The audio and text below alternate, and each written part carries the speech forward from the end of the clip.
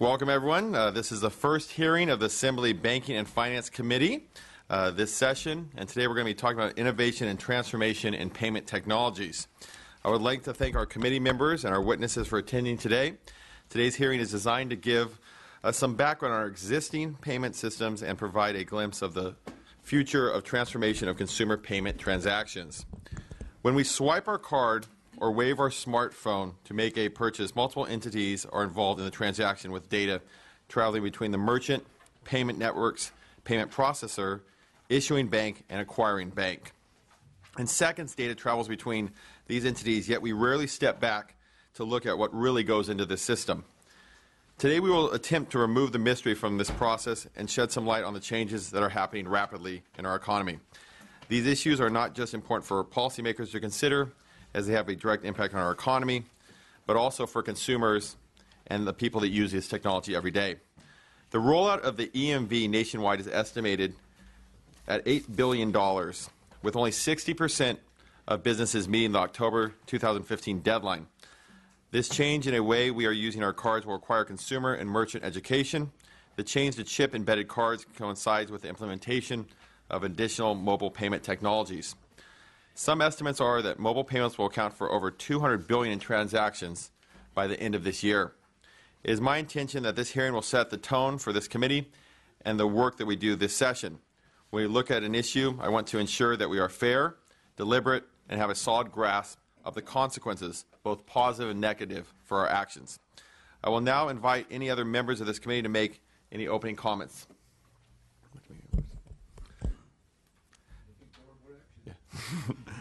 Seeing no opening comments uh, from my colleagues, I would like to introduce our first panel, and uh, will give us an overview of the current payment system. Uh, first, we have Kim Ford, VP of Public Affairs with First Data, Stephanie Erickson, VP of Risk Products for Visa, and Rachel McGreevy, VP of State Government Affairs and Community Relations for MasterCard. Thank you for being here today.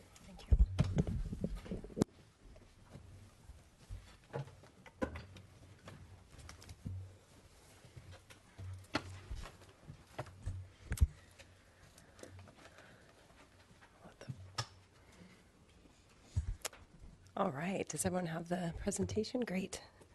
Um, so, Chairman Dababneh and members of the Assembly Banking and Finance Committee, I am Kim Ford uh, with First Data. Um, First Data is a payment processor.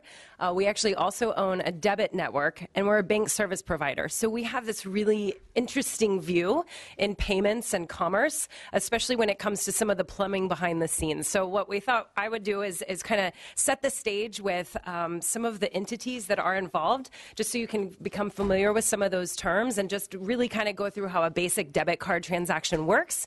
And then that way, uh, my colleagues here can layer onto that uh, as they will. So um, if you'll get started here. So this first page on this presentation. Um, these are really kind of the, the main entities when we think about, you know, debit card transactions. So as you see here, you've got the merchant. So clearly we know what that is, the seller of the of goods and services. Um, you also have an acquiring bank. So this is the bank that the merchant contracts with. So that's the one where the merchant's account is held. Then you have an acquirer processor. That's an example of what First Data does. And again, I'm going to get into, I'll show you how this all works. But acquirer processors are actually um, run some of the computer systems that send the transaction data through uh, the payments chain. You have electronic fund transfer networks, and I've included some of the uh, brands that you may have seen in the past. Um, so these also play a role uh, in, in payment uh, transaction processing and, and the routing of data. Uh, you have issuer processors. So these are processors that can work on behalf of the issuing financial institution uh, and also have a role to play in moving the data. Then you have the card issuing bank. So if you think about that as the entity where you and I would have a relationship. So if you open a checking account uh, at a financial institution, a bank or a credit union, and, and uh, you get that plastic debit card from them, that is the issuing bank. Uh, so you might hear us say card issuer, issuing bank. That's again, that's where you've uh, opened your checking account. So now I'm going to kind of get into where how some of these uh, entities play together. So I'm going to actually skip over slide two. So if you'll go to slide three. This is actually uh, a little more detail on what really is happening behind the scenes when we swipe a debit card. So if you'll kind of look there at the top, um, what basically happens, so I'm using an illustration if I've entered, if, I, if I'm using my PIN debit card. So credit cards function a little bit differently, so we're really just talking about PIN debit right now. So uh, again, I'm a card holder. I go up and swipe my debit card at the point of sale terminal and I enter my PIN. So what happens then is you've got this authorization request that is going to be taken from the merchant terminal and that's usually picked up by the payment processor and they're taking that transaction data and pushing it through the chain. So next so you, again you've got the retailer then you've got the processor that's taking that data. It's going to send it through to the network and that's the network that you would see the brand on the, the card that you have. So that could be visa mastercard star. Uh, Star is the network that First Data owns, so I've used them for the example here. Uh, and then from the network, uh, you've got uh, the, the, the, transaction information has to get to the card issuing bank. So that could be done by the issuing processor or it could be sent directly to the financial institution itself. And it's really the card issuing bank that, that kind of has all the power here. They are the ones that get to say, am I going to approve this transaction or am I going to decline it? Because they're the ones holding the account, right? So they get a pretty limited amount of information that's, that's in this initial authorization, enough to where they can basically identify who the consumer is is do they have an account at that financial institution and is it active? That's pretty much all that's happening in this first round of authorization. So again, the financial institution gets that information, says yes, no. If it's an approval, uh, well, or decline, that that transaction flow gets routed the same way. So again, it would then go from the card issuing financial institution back to the processor, back to the network, back to the merchant acquirer processor, and to the terminal where you are standing waiting to see if your transaction has been accepted. So it's it's um, a lot of entities that are in this mix, but we have very defined roles and responsibilities in that. So, so I hope you'll remember that again as you're hearing some more about EMV and security, and um, you know, we each have very defined roles and responsibilities, and and we don't really stray from those. Um, so I think that real quick all i wanted to mention as well is that's that's kind of a typical pin debit transaction flow if you look at slide four um, just quickly, in the interest of time, ATMs work just a little bit differently. There are just a couple less entities, if you will, uh, and you've got some fancy little pictures to walk you through that. So again, you know, the same kind of situation where a cardholder uh, puts the card into the machine, enters the PIN. In this case, though, it's really just going uh, to the network. You don't necessarily have a lot of other processors that are in the mix, and then uh, again to the cardholder's financial institution that gets to say is there money in the account? You know, in this case, twenty dollars for the for the ATM transaction. Yes, no. If yes, you know, it reverses right back over those same rails, and you get your money and walk away. So, um, as you know, from a consumer perspective, we've made this whole exercise really easy, right? I mean, this is happening in seconds. All these entities and all these computer systems that are having to talk to each other and make decisions. Uh, again, for a consumer, it's really like a three-second process. Um, but again, understand there is a whole sophisticated sophisticated infrastructure behind the scenes with all these folks talking to each other. And really, if you think about when we designed the payment system, we were really going for a couple things efficiency, speed, and security. Uh, so, again, I'll leave you with those thoughts. Um, I think that maybe there will be time uh, for questions after, so I will uh, conclude here and uh, know that I'm willing to answer any questions you have. Thank you very much. I'm right here. Hi, I'm Stephanie Erickson from Visa. I'm Vice President of Risk Products. Um, thank you very much for the invitation. Good afternoon. Um, so, in terms of anything to add to what Ms. Ford said from First Data regarding the role of the networks in the payment system, we also have this other handout that was given to you. Um, so, hopefully, you have this in front of you, which, just from a payment network point of view, if you look at slide two, it has just some very big boxes, so it's pretty simplified. Um, so if you look at from a card network point of view, from Visa and MasterCard's perspective, we really sit as the payment network between the financial institutions that have relationships with the consumers and relationships with the merchants or the retailers. And so from a network point of view, we handle the security railroad and the messaging railroad of passing the transactions through our network from the consumer's bank and the merchant's bank or financial institution. And so we do a lot of investment in the security and the transaction processing environment, but we don't actually lend any credit or funds to the consumer directly or deal with the financial relationship with the merchants directly. That's done with the merchant's bank or with the consumer's financial institution, credit union, or bank. Whereas the payment network does the transferring of the transaction data from one institution to the other. And we have rules by which the system operates. And then we also have services in which we score those transactions for risk. We manage the way in which the settlement happens, the number of days in which the transactions get processed, and so forth. So just want to make sure it's really clear that we're not the ones that are actually having the financial relationships with the end consumers. However, very similar to what Ms. Ford was saying is that we're very focused on making sure that there's a balance of convenience as well as security. So making sure that the transaction environment operates efficiently and quickly, but that, that we're also investing in security so that there's confidence and trust in the payment system. Rachel McGreevy.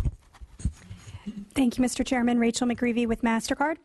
Um, and just to sort of round out the payment system overview, um, I wanted to walk you through uh, the journey of a transaction and just recap what happens from when, when you're thinking about this from a consumer perspective, from a constituent perspective, or your own, you, you yourself or your family with a payment card. Um, you present your card to make a purchase and what happens with your information. The, it's the dollar amount, the date and time of the transaction, the merchant code, and the cardholder's personal account number. We call that PAN. You may hear that um, later in the discussion.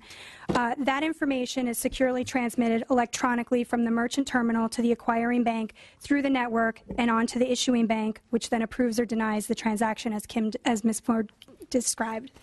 Uh, this is known as the authorization message, uh, and it works very similarly for credit as it does for debit. Um, and so that's what that's what happens with your uh, the information that is processed over the network um, are those four pieces. So, in summary, the role of the payment network provides processing technology and operational systems. It sets standards and rules of the road, builds and manages a global brand to promote usage and drive commerce, and develops new marketplace opportunities to promote acceptance.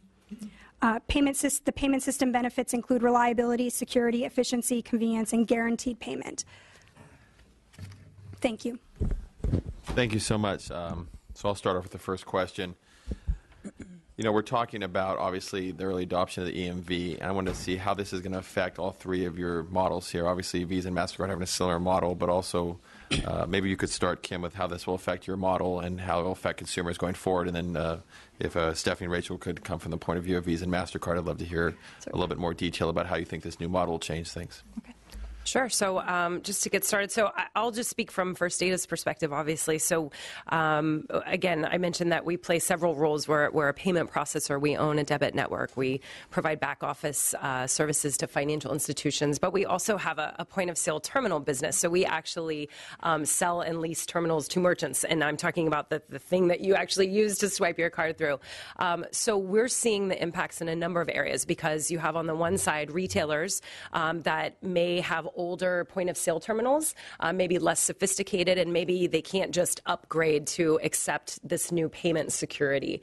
Um, so in some cases, they're buying new terminals that are much more sophisticated and smart, and maybe they're even wireless, maybe they're mobile. You're going to be hearing more about that um, as well. But so there are a number of decisions, obviously, that a retailer has to make about which which point of sale terminal is going to work for them, right? Um, so you know, in that case, though, from an EMV standpoint, um, the consumer experience will change in the fact that they may not, they'll no longer be swiping the card. They may be dipping it or they may be waving it or tapping it, depending on a number of factors.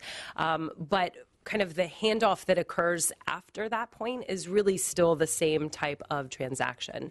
Um, so, yes, there is more security, uh, but again, the process flow doesn't really change.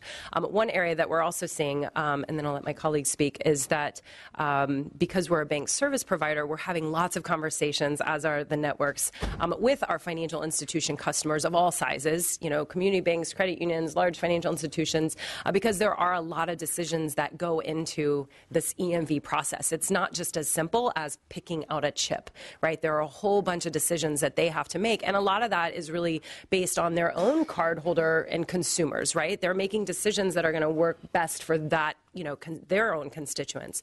Um, so again, we're we're having lots of discussion um, with them to try to figure out and you know help guide them along the way to make the decision that's going to work best for their cardholders. Very good, thank you. For many of your retailers, they don't really have a choice because when the law kicked in that you're only the last four numbers on your credit card must show an address, they went through changes. They had to change their POS to the tune of about $6,000 per location. And now with European cards coming to the market, if they were able to accept it, they have to change it. So I think there's my choice for retailers but to spend that money to comply and be able to accept. And with the credit card use, which is almost 85% of any retailers, and qu- at a, quite an expense, 2.5% plus, that's adding up. So, I- so I don't know if there's any, Mr. Chair, would it, would it be the appropriate time to provide an overview of the EMV chip technology? Uh, appreciate that. Okay, Thank you. okay. So I'll just give a little bit of background information, and then we can address my specifically only your concern concern. is that retailers are being forced into changes because technology is changing, and I'm all happy about it, that because it's a matter of security, Mm-hmm. but also got to have a little bit of a, a consciousness about the retailer's pocket as well.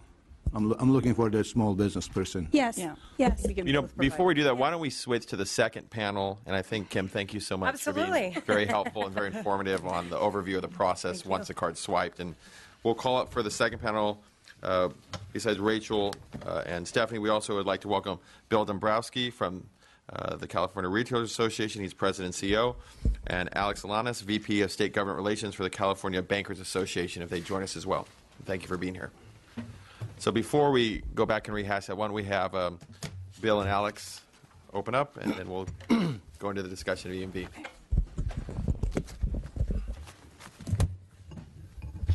Do you want me to go first? Yeah, thank you.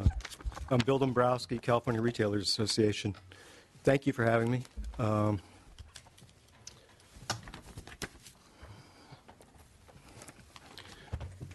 I think everybody in the room knows how important payment card security is to retailers after what's happened over the last few years and all of the headlines. Um, the industry today is, is facing a massive conversion. Um, we are trying to go to our standard is chip and pin. And let me talk about that a little bit. Um, it's kind of ironic. The U.S., which is usually a trailblazer in technology, is still using the 1970s magnetic strip. And, you know, it's causing quite a bit of fraud. Uh, fraud is 50% more prevalent in the U.S. compared to other parts of the world. 25% more fraud occurs here because of our use of the outdated, outdated magnetic strip.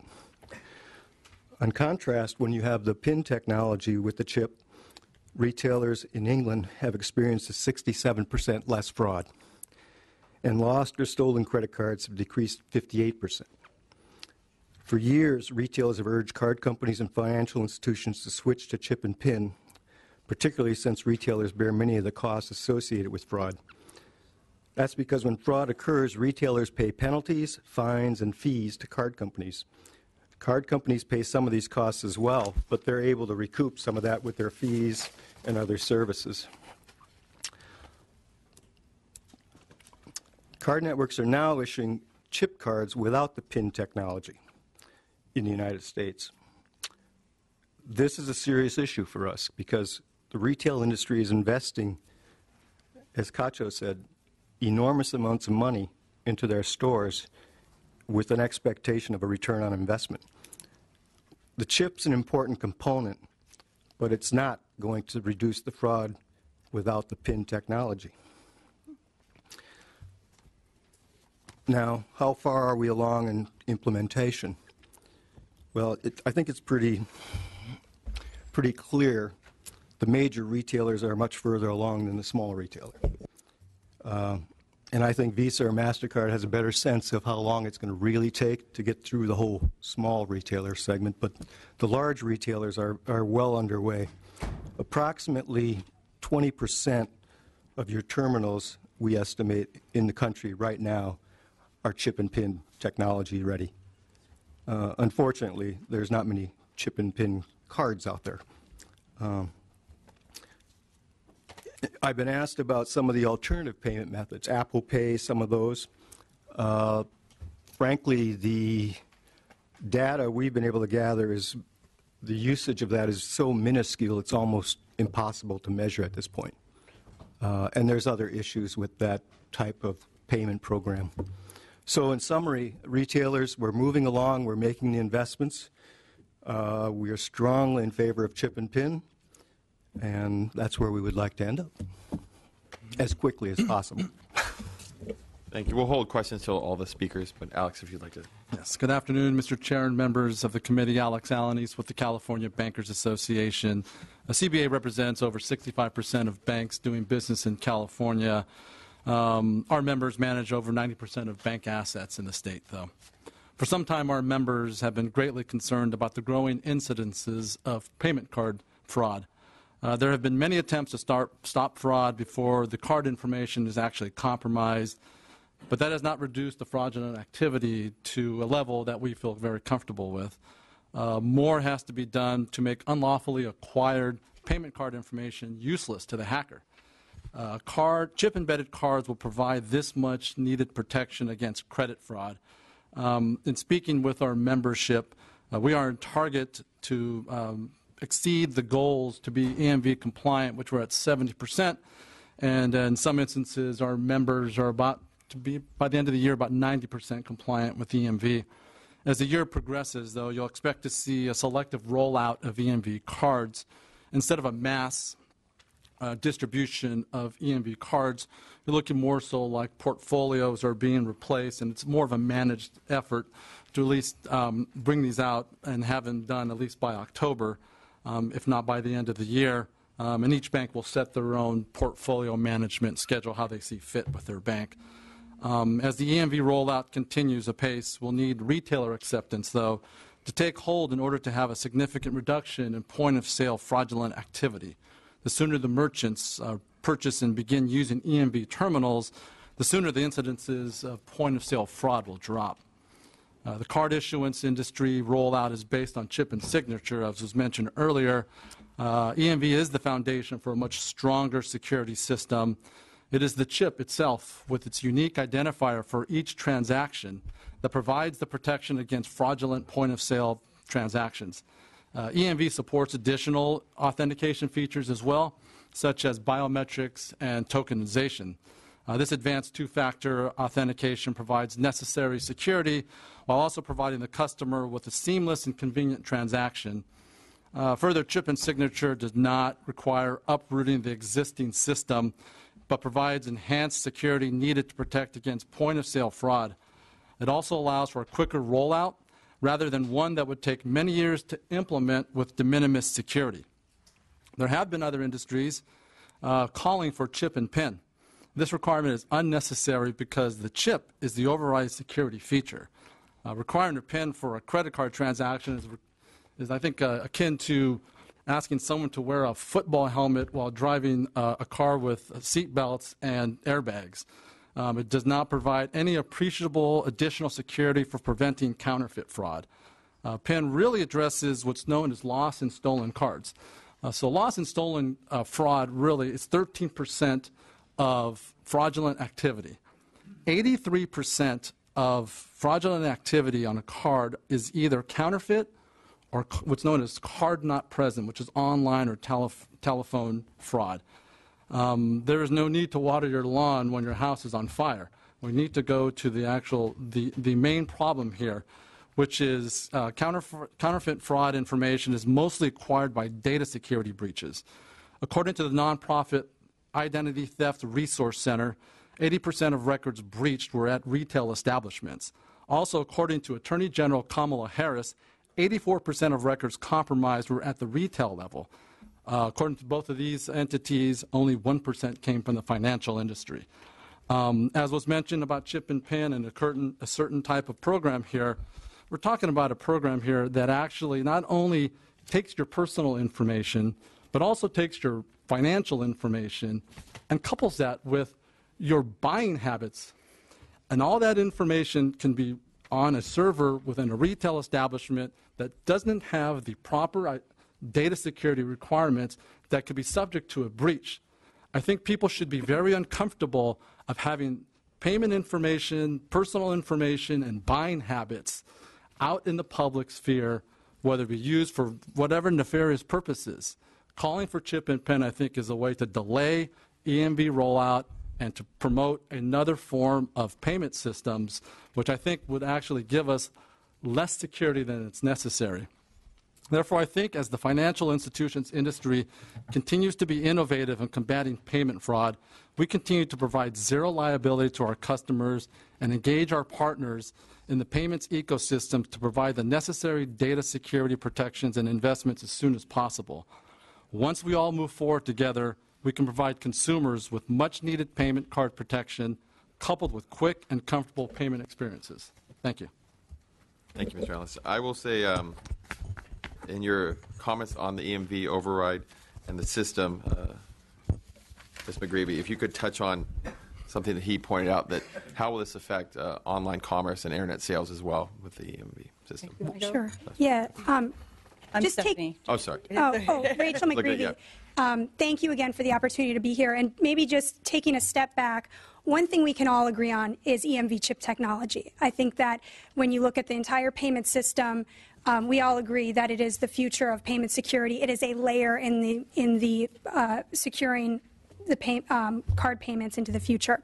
So with that being said, that we all support EMV, I want to just give you a, a little bit of a description of the technology itself because I think that's helpful to the discussion.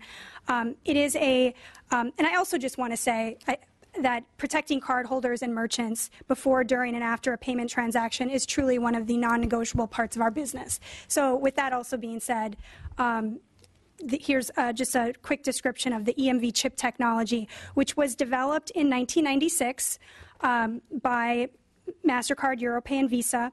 And EMV, so it stands, the acronym, that's where it came from. It's a technology. It, it is a standard for globally interoperable secure payments. And it, of course, has had great success in protecting from fraud in Europe and elsewhere. It, uh, put simply, it's a system whereby older technologies, such as the magnetic stripe, are replaced or supplemented by a microchip. Uh, that is actually on the card. And the chip acts as a microprocessor and generates dynamic data each time it is used. This allows for dynamic authentication, whether it's a PIN or a signature or a biometric or another way to verify the cardholder to authenticate the cardholder. The technology is in that dynamic um, data that is that is generated with each with each um, use of that card. It makes it radically more difficult for criminals to intercept or steal the information because of that dynamic component. Um, in addition, the presence of chip technology on an EMV card makes creating counterfeit cards significantly more difficult, reducing the risk of fraudulent transactions, even if there is an account data compromise. Um, my colleague Alex mentioned the Attorney General Kamala Harris. Um, I, I, would just, I will. Um, I was going to jump to the roadmap, Stephanie, but you, but um, if you would like to add to that piece of.